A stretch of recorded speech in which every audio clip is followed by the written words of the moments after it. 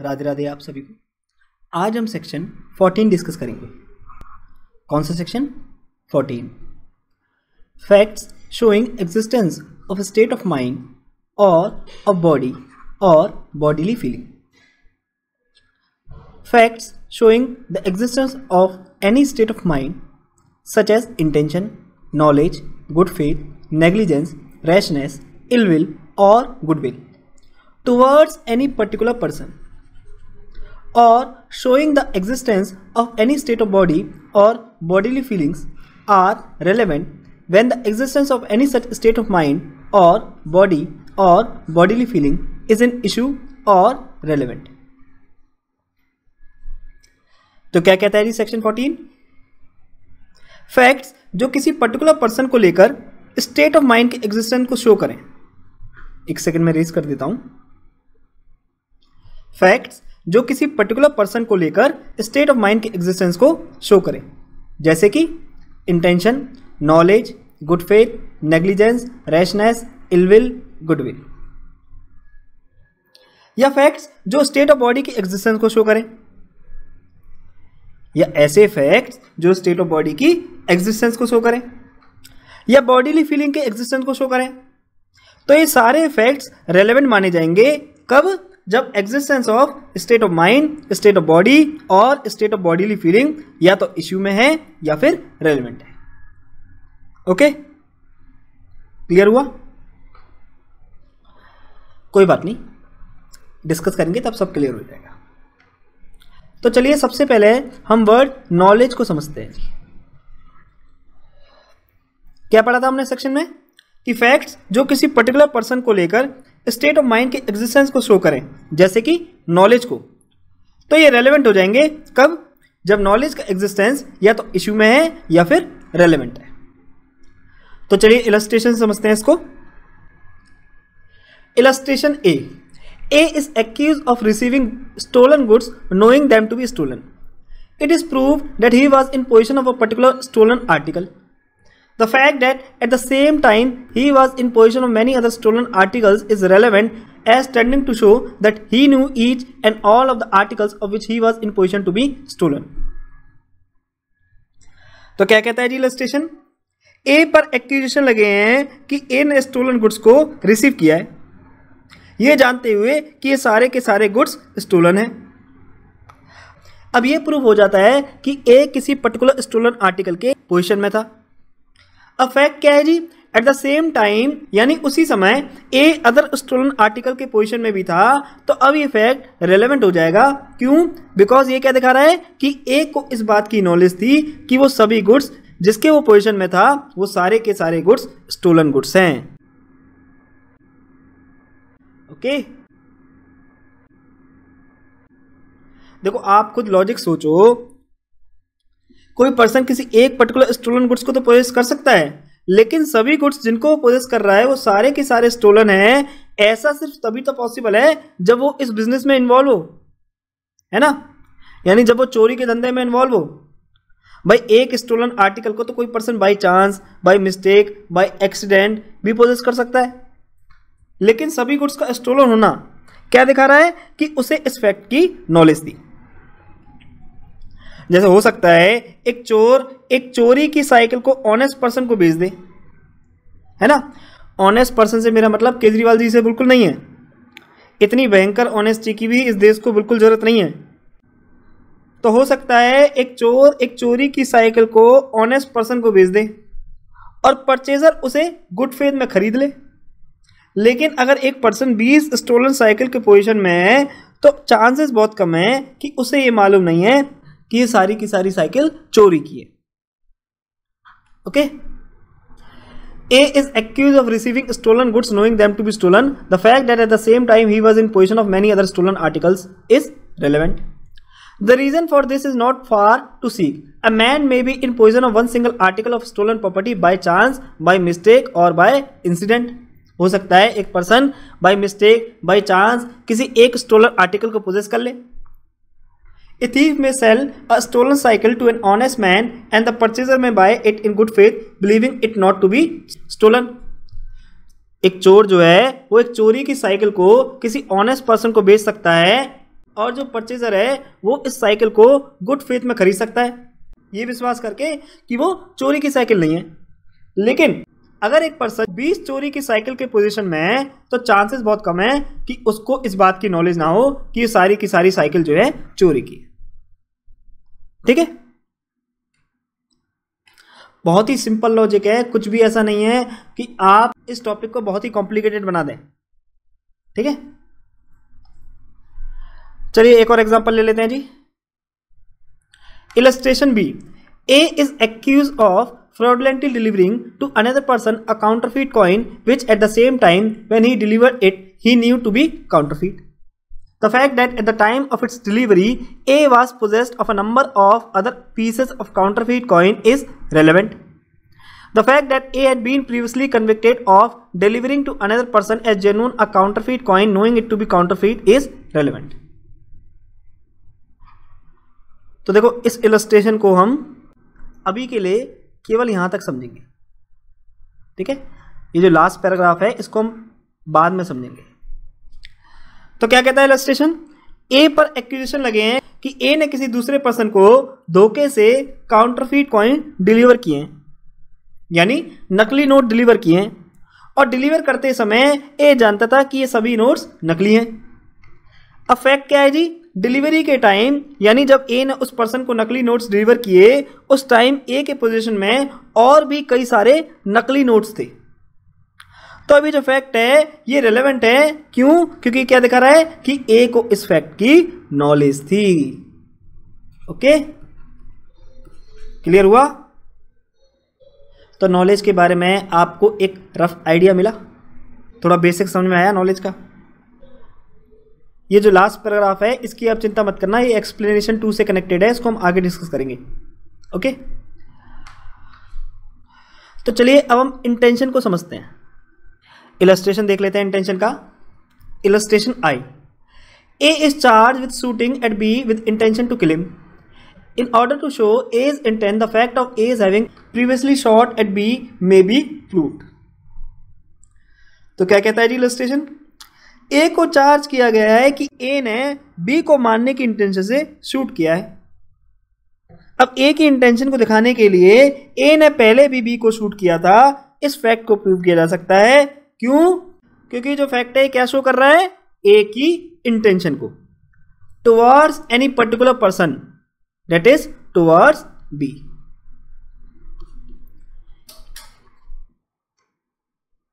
यानी जो फैक्ट है कि ए ने पहले भी बी को गोली से शूट किया है तो ये जो फैक्ट है रेलेवेंट है, क्योंकि ये फैक्ट ए की इंटेंशन दिखा रहा है, किसके प्रति? बी के प्रति। Okay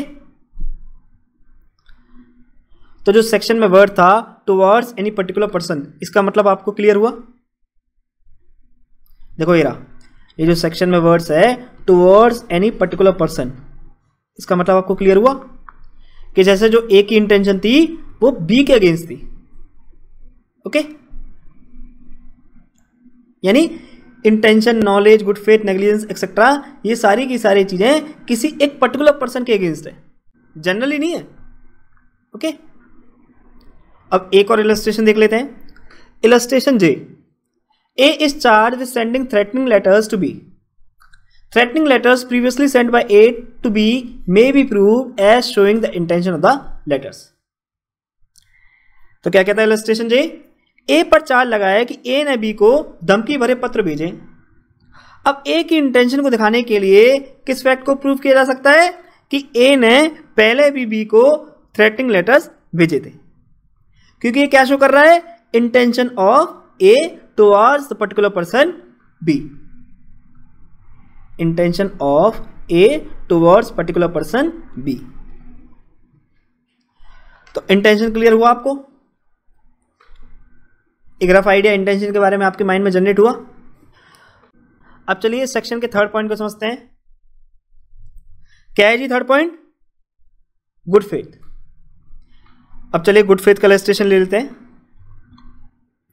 Illustration F A is sued by B for fraudulently representing to B that C was solvent whereby B being induced to trust C who was insolvent suffer loss the fact that at the same time when A represented C to be solvent C was supposed to be solvent by his neighbours and by person dealing with him is relevant as showing that A made the representation in good faith तो क्या कहता है जी illustration F B ने ए को सू किया है। B ने ए को सू किया है। बी ने एलिगेशन लगाए कि ए ने मुझे फ्रॉडनेटली रिप्रेजेंट किया कि सी जो है, वो एक सॉल्वेंट पर्सन है। यानी फाइनेंशियली साउंड पर्सन है। पैसे वाला व्यक्ति है। जिसके कारण बी ने इस बात पर विश्वास कर लिया कि सी सॉल्वेंट पर्सन है और कुछ पैसे दे दिए होंगे। या कोई सामान डिलीवर कर दिया होगा। पर जो सी था, वो एक्चुअली में इंसॉल्वेंट पर्सन था। जैसे कि मेहुल चौकसी हो गया, विजय माल्या हो गया, इस तरीके से। और बी को काफ़ी नुकसान हो गया। अब फैक्ट क्या है जी, कि जिस टाइम ए ने सी को सॉल्वेंट रिप्रेजेंट किया था सी को उसके पड़ोसी और उसके साथ डील करने वाले सभी लोग सॉल्वेंट मानते थे। तो अब ये जो फैक्ट है, ये रेलिवेंट हो जाएगा। क्यों? क्योंकि ये फैक्ट क्या दिखा रहा है? कि ए ने गुड फेथ में वो रिप्रेजेंटेशन किया था। ओके भाई, जो फैक्ट है, वो क्या है? कि जिस टाइम ए ने सी को सॉल्वेंट रिप्रेजेंट किया था सी को उसके पड़ोसी और उसके साथ डील करने वाले सभी लोग सॉल्वेंट मानते थे। तो अभी जो फैक्ट है, वो रेलिवेंट हो जाएगा। क्यों रेलिवेंट हो जाएगा? क्योंकि ये फैक्ट क्या दिखा रहा है? कि ए ने वो रिप्रेजेंटेशन गुड फेथ में करी थी। ओके तो गुड फेथ क्लियर हुआ? अब चलिए, अब हम सेक्शन के नेक्स्ट पॉइंट इलविल को समझ लेते हैं। तो इलस्ट्रेशन देखते हैं इलविल का। Illustration E A is accused of defaming B by publishing an imputation intended to harm the reputation of B. The fact of previous publication by A respecting B showing ill will on the part of A towards B is relevant as proving A's intention to harm B's reputation by the particular publication in question. तो क्या कहता है जी illustration ए पर accusation लगे हैं कि ए ने B को डिफेम किया है उसके अगेंस्ट एक इम्प्यूटेशन पब्लिश करके अफेक्ट क्या है जी ए ने पहले भी बी के अगेंस्ट डिफेमेटरी आर्टिकल्स पब्लिश किए हैं। अब ये जो फैक्ट है, ये क्या दिखा रहा है? कि ए की बी के साथ दुश्मनी है। That is A is having ill will towards particular person B okay तो देखो, इस सेक्शन से रिलेटेड मोटा मोटी हम सभी इंपॉर्टेंट वर्ड्स को डिस्कस कर चुके हैं। हमने इंटेंशन कवर कर लिया, हमने गुड फेथ कवर कर लिया, हमने इलविल के एग्ज़ाम्पल देख लिए, हमने नॉलेज के इलस्ट्रेशन देख लिए, ठीक है? तो ब्रॉडली हमने इस सेक्शन के सभी इंपॉर्टेंट पॉइंट्स को कवर कर लिया है। अब हम स्टेट ऑफ़ बॉडी और बॉडीली फीलिंग को देखेंगे। ओके तो देखो, पहले आप एक बात समझ लो। स्टेट ऑफ़ बॉडी जो है, वो क्या है? वो एक फ़िज़िकल फैक्ट है। State of body is a physical fact जबकि state of mind and state of bodily feeling state of mind and state of bodily feeling ये क्या है? ये दोनों अपने आप में साइकोलॉजिकल फैक्ट है, या फिर मेंटल फैक्ट्स हैं। ओके स्टेट ऑफ़ माइंड जैसे कि intention knowledge good faith ill will goodwill etcetera यानी जो अभी हमने सारे के सारे डिस्कस किए हैं, ये सारे के सारे फैक्ट्स मेंटल फैक्ट्स हैं। क्यों? क्योंकि सारे फैक्ट्स कहाँ एग्जिस्ट करते हैं? एक पर्सन के माइंड में। जैसे जो इंटेंशन है मोटिव है गुड फेथ है इलविल है, ये कहाँ एग्जिस्ट करती है? ये पर्सन के माइंड में एग्जिस्ट करती है। तो इसलिए कैसे फैक्ट हुए? मेंटल फैक्ट्स हुए। तो चूँकि जो स्टेट ऑफ़ माइंड है, ये मेंटल फैक्ट है तो इसलिए इन फैक्ट को या तो एक्यूज के कन्फेशन से प्रूव किया जा सकता है, या फिर अदर सर्कमस्टेंशियल एविडेंस से प्रूव किया जा सकता है। ओके इसी तरह जो स्टेट ऑफ़ बॉडीली फीलिंग है, ये क्या है? ये भी अपने आप में एक मेंटल फैक्ट है। तो चलिए, अब हम स्टेट ऑफ़ बॉडी एक फ़िज़िकल फैक्ट है, इसको समझते हैं जी। सपोज़ करके चलिए ए को बुखार आ रहा है।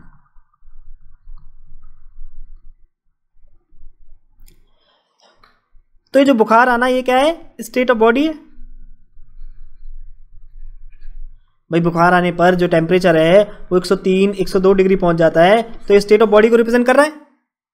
अब ये जो फैक्ट है ये कैसा फैक्ट है? फ़िज़िकल फैक्ट है। क्यों? बिकॉज़ कोई भी एक ही बॉडी को टच करके अपने सेंसेस से ये परसीव कर सकता है कि एक ही बॉडी काफ़ी गर्म है और इसको बुखार आ रहा है। है ना?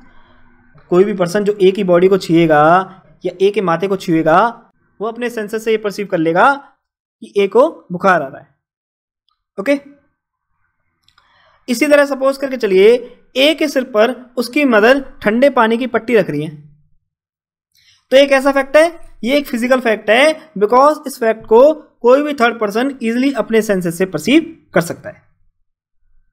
ओके तो स्टेट ऑफ़ बॉडी क्या है? स्टेट ऑफ़ बॉडी एक फ़िज़िकल फैक्ट है।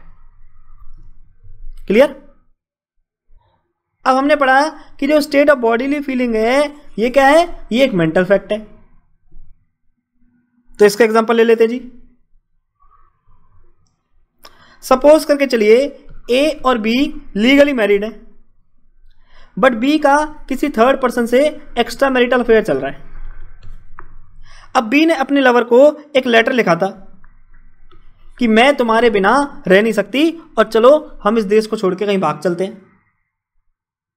तो ये जो लेटर में लिखी हुई बातें हैं, ये क्या दिखा रही हैं? ये बी की बॉडीली फीलिंग को दिखा रही है। ठीक है? भाई बी का ये कहना कि भाई, मैं तुम्हारे बिना रह नहीं सकती, ये क्या दिखा रहा है? ये बी की बॉडीली फीलिंग को दिखा रहा है। Towards that particular person towards that person C okay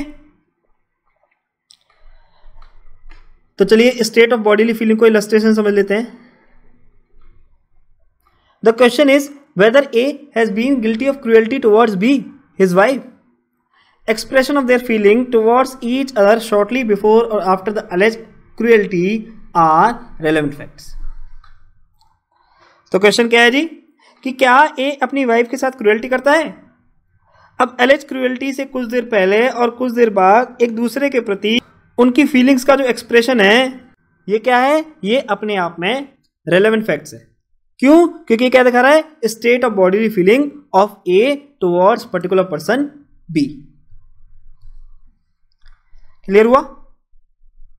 तो अब आपको state of body state of bodily feeling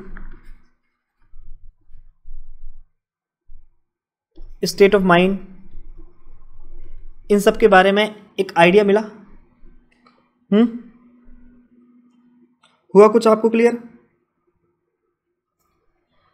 अब चलिए, अब इस सेक्शन की एक्सप्लेनेशन डिस्कस करते हैं। तो एक्सप्लेनेशन का मतलब क्या होता है जी? एक्सप्लेनेशन का मतलब जो चीज़ सेक्शन में गिवन है, उसको एक्सप्लेन करना। है ना? तो एक्सप्लेनेशन वन में अगर ध्यान से देखें सेक्शन में towards any particular person given है। अगर आप ध्यान से देखोगे तो सेक्शन के अंदर towards any particular person given है। अब इसी चीज़ को एक्सप्लेनेशन वन के अंदर थोड़ा सा एलेबरेट तरीके से डिफाइन किया गया है। तो चलिए देखते हैं एक्सप्लेनेशन को।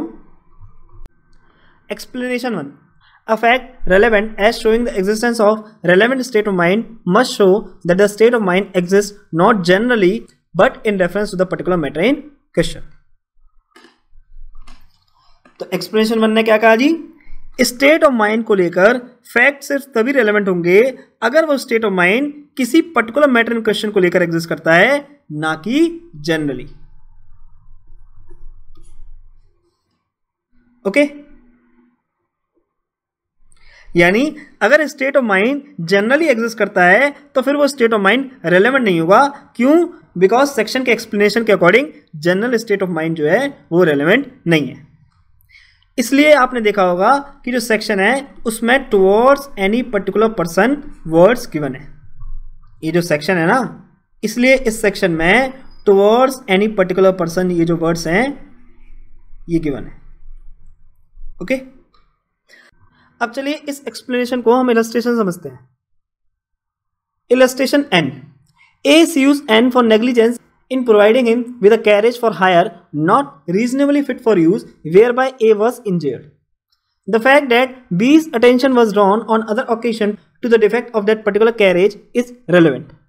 The fact that B was habitually negligent about that carriage which he led to hire is irrelevant. तो क्या कहता है इलस्ट्रेशन ए ने बी को नेग्लिजेंस के लिए शुरू किया है ए ने एलिगेशन लगाए हैं कि जो कैब या जो टैक्सी बी ने मुझे रेंट पर दी थी, वो यूज़ करने के लिए फिट नहीं थी, जिसके कारण मुझे इंजरी हो गई। अब फैक्ट क्या है जी? पहले भी कई दफ़ा बी के अटेंशन को उस डिफेक्ट पर ड्रॉ किया गया था। ये रेलेवेंट फैक्ट है। क्यों? बिकॉज़ ये state of mind particular matter in question को लेकर एग्जिस्ट कर रहा है।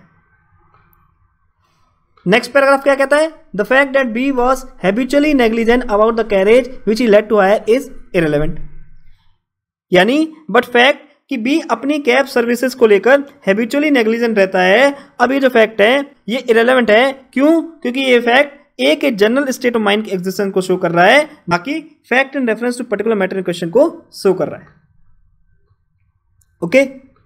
यानी बी का जो स्टेट ऑफ़ माइंड है, कौन सा state of mind negligence state of mind ये केवल तभी रेलेवेंट होगा अगर ये स्टेट ऑफ़ माइंड जो क्वेश्चन केस में है, सिर्फ़ उसी के रेफरेंस में एग्जिस्ट करता है। क्लियर हुआ? नहीं हुआ। डाउट है अभी? कोई बात नहीं। एक और इलस्ट्रेशन देख लेते हैं जी। Illustration O A is tried for the murder of B by intentionally shooting him dead the fact that A on other occasion shot at B is relevant as showing his intention to shoot B the fact that A was in the habit of shooting at people with intent to murder them is irrelevant तो क्या कहता है जी illustration ओ ए को B के murder के लिए try किया गया है। ए पर एलिगेशन लगे कि ए ने बी को इंटेंशनली शूट कर दिया है। अब फैक्ट क्या है जी? ए ने अदर ओकेशन पर भी बी को शूट किया था। अब ये जो फैक्ट है, ये रेलेवेंट है, क्यों? क्योंकि ये क्या दिखा रहा है? ए की बी को शूट करने की इंटेंशन दिखा रहा है। दैट इज़ ए का ये जो स्टेट ऑफ़ माइंड है, ये केवल बी को लेकर एग्जिस्ट करता है towards particular person B only यानी ये स्टेट ऑफ़ माइंड जो क्वेश्चन मैटर में है, सिर्फ़ उसी को लेकर एग्जिस्ट करता है। ठीक है? इसलिए जो फैक्ट है रिलेवेंट हो जाएगा। लेकिन the fact that A was in the habit of shooting people with intent to murder them is irrelevant but fact कि ए तो शौकिया तौर पर लोगों को शूट करता है, या हैबिचुअल मैनर में लोगों को शूट करता रहता है। ये जो फैक्ट है, ये रेलेवेंट नहीं माना जाएगा। क्यों? क्योंकि अभी जो फैक्ट है, ये ए का general state of mind show कर रहा है। कौन सा state of mind general state of mind okay clear हुआ आपको? थोड़ा थोड़ा क्लियर हुआ थोड़ा थोड़ा नहीं हुआ। हम्म?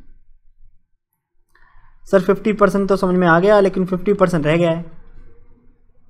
चलिए, कोई बात नहीं, इस फिफ्टी परसेंट को और थोड़ा सा एनहेंस करने की कोशिश करते हैं। एक और एग्जांपल ले लेते हैं। सपोज़ करके चलिए A said I will kill everyone on this planet A ने कहा कि मैं इस प्लानिट पे सबको जाके मार दूँगा, और फिर ए जाके बी को मार देता है। तो अब आप मेरे को बताइए, क्या अब ये फैक्ट रेलेवेंट होगा? Answer is no. Why because ये फैक्ट ए की जनरल इंटेंशन को दिखा रहा है, ना कि पर्टिकुलर पर्सन को लेकर। ठीक है? इसलिए अभी जो फैक्ट है, ये सेक्शन 14 के अकॉर्डिंग रेलेवेंट नहीं होगा। इसलिए जब आप इलस्ट्रेशन सी करेंगे ना तो उसमें आप देखना एक्स वाई जेड तीन पर्टिकुलर पर्सन के नाम गिवन है। ए टू जेड ऐसा नहीं गिवन है। एक्स वाई जेड तीन पर्सन के नाम गिवन है। ओके तो अब आपको एक्सप्लेनेशन वन क्लियर हुआ? हम्म? कुछ आइडिया मिला एक्सप्लेनेशन वन के बारे में? चलिए, अब एक्सप्लेनेशन टू को देख लेते हैं। Explanation two but where upon the trial of a person accused of an offence the previous commission by the accused of an offence is relevant within the meaning of this section the previous conviction of such person shall also be a relevant fact तो क्या कहता है explanation to trial के दौरान accused ने पहले भी offence commit किया है, ये रेलेवेंट है तो अब जो प्रीवियस कन्विक्शन है, ये भी अब रेलेवेंट हो जाएगा। यानी previous commission of offence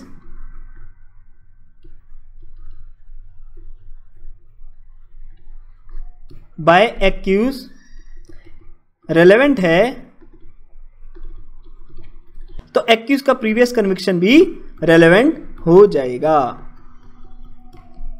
okay that is अगर एक्यूज ने पहले कोई ऑफेंस किया है, ये रेलेवेंट है तो पहले उसे कन्विक्ट किया गया है, ये फैक्ट भी अब रेलेवेंट हो जाएगा।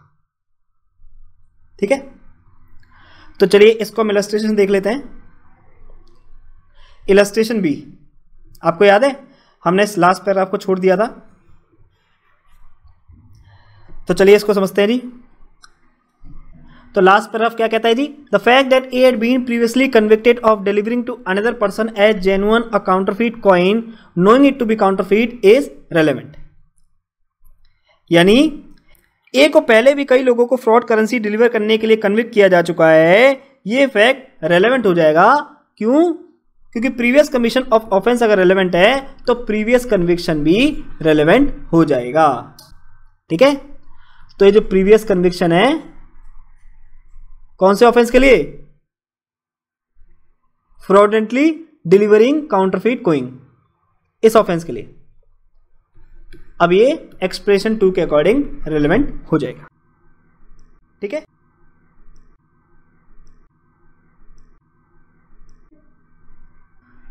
तो देखो, ये था हमारा सेक्शन 14 सेक्शन 14 जो है, वो पीटी के लिए बहुत इंपॉर्टेंट है। मेंस में ऐसा जिससे क्वेश्चन कोई बनते नहीं है। ठीक है? लेकिन थोड़ा सा आइडिया आपको होना चाहिए। अब इस सेक्शन 14 की कुछ पीटी के पॉइंट्स हम डिस्कस कर लेते हैं। देखो, सबसे पहले तो पीटी में अक्सर ये क्वेश्चन बहुत बार पूछा जाता है कि सेक्शन 14 में वर्ड मोटिव गिवन है या नहीं। तो आपको इस सेक्शन के सारे के सारे वर्ड्स याद रखने हैं। Intention knowledge good faith negligence rashness ill will और गुडविल यानी वर्ड मोटिव सेक्शन 14 में कवर नहीं होता। तो इस पॉइंट को आप बहुत अच्छे से याद रखना कि section 14 does not deal with motive section 14 deals with intention knowledge good faith negligence rashness ill will और goodwill towards any particular person ये जो वर्ड है, ये भी बहुत इंपॉर्टेंट है। ठीक है? इसके अलावा section 14 deals with existence of state of mind state of body और बॉडीली फीलिंग और स्टेट ऑफ़ माइंड और बॉडीली फीलिंग क्या है? मेंटल फैक्ट है. जबकि जो स्टेट ऑफ़ बॉडी ये क्या है? ये एक फ़िज़िकल फैक्ट है. ठीक है? इसके अलावा जो सेक्शन की एक्सप्लेनेशन है, ये दोनों आपको बहुत अच्छे से याद रखनी है. एक्सप्लेनेशन वन में नॉट जनरली इज़ प्रोवाइडेड जबकि एक्सप्लेनेशन टू में क्या प्रोवाइड कर रखा है? Previous commission of offence relevant है तो प्रीवियस कन्विक्शन भी रेलेवेंट हो जाएगा। ओके? okay? इसके अलावा आपको इस सेक्शन की सारी इलस्ट्रेशन को बहुत अच्छे से कवर करना है। ठीक है? पीटी में अक्सर इन इलस्ट्रेशन से क्वेश्चन आता है। तो ये था हमारा आज का लेक्चर अगर आपको लेक्चर पसंद आया तो आप लाइक शेयर और कमेंट ज़रूर कीजिएगा। और अगर आपको लेक्चर पसंद नहीं आया है तो आपको डिसलाइक करने का भी पूरा राइट है। और प्लीज़ आप लोग कमेंट करके अपने फीडबैक ज़रूर दीजिएगा, जिससे कि फ्यूचर में मैं अपने आप को और इम्प्रूव कर सकूँ।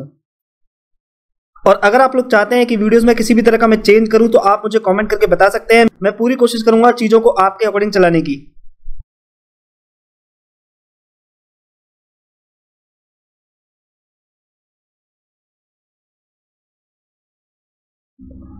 स्पेशल थैंक्स टू माई गुरु नेहा सिंह जिन्होंने ईयर 2018 में इंडियन एविडेंस एक्ट का अपना ज्ञान मेरे साथ साझा करके मुझे लेक्चर बनाने के काबिल बनाया। अगर आपको इस लेक्चर से कुछ सीखने को मिला है और आप मुझे कंट्रीब्यूट करना चाहते हैं तो आप मुझे कंट्रीब्यूट भी कर सकते हैं। ये है मेरा क्यूआर कोड आप किसी भी ऑनलाइन पेमेंट एप्लीकेशन के थ्रू मुझे पेमेंट कर सकते हैं। और याद रखना ये कंट्रीब्यूशन जो भी आप करोगे, ये केवल सोसाइटी के लिए यूज़ किया जाएगा। जैसे कि गरीब बच्चों की पढ़ाई के लिए, उनकी शादी के लिए, गौ माता की सेवा के लिए etcetera because I believe this contribution is by the people of the people and for the people only इसके अलावा इंस्टाग्राम और फेसबुक पे आप मेरे को फॉलो कर सकते हो। जो लिंक है वो डिस्क्रिप्शन बॉक्स में गिवन है। इंस्टाग्राम पे मैं अक्सर लाइव भी आता हूँ और प्रीवियस ईयर क्वेश्चन भी शेयर करता हूँ। तब तक के लिए स्वस्थ रहिए, व्यस्त रहिए और मस्त रहिए। Take care of your health physically mentally and emotionally जय हिंद, जय भारत।